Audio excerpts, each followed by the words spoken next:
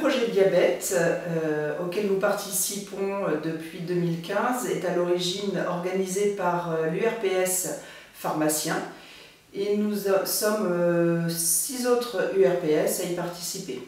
Nous pensons qu'il y a 700 000 diabétiques qui s'ignorent et nous souhaitons réaliser ce dépistage durant tout le mois de novembre sous forme d'autotest auprès de nos patients.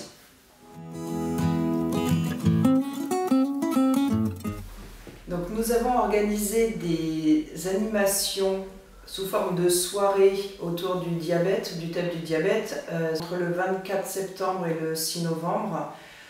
Euh, les thèmes abordés étaient euh, le diabète, qu'est-ce que c'est? Le diabète gestationnel, le matériel du diabète et les objets connectés et d'autres sujets.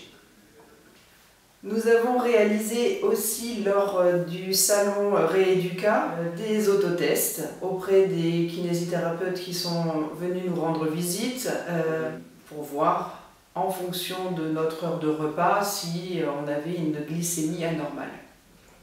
Cela permettait aussi d'inscrire les kinés intéressés et motivés pour réaliser ces autotests auprès de leurs patients.